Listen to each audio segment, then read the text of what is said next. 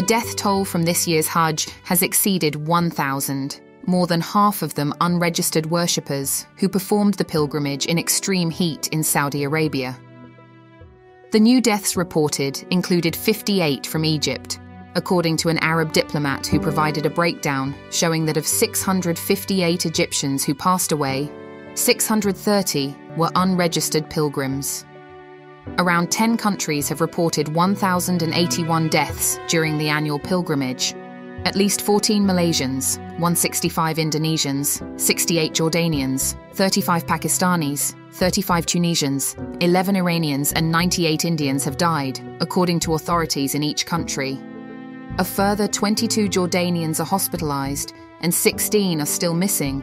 Sources in the Saudi Arabian Health Ministry said they had recorded 2,700 cases of heat exhaustion. Temperatures in Mecca rose to 51.8 degrees Celsius during the course of the annual event. Uh, yesterday, most of the people they died on the roadside, and uh, some were uh, fainted due to the heat and heat stroke.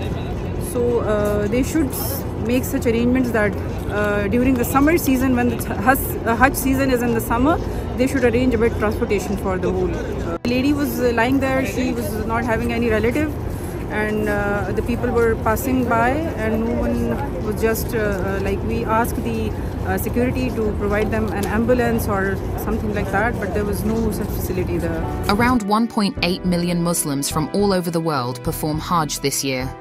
One of the world's largest religious gatherings, the Hajj is one of the five pillars of Islam. Every Muslim who is able to is supposed to perform it at least once in their lifetime.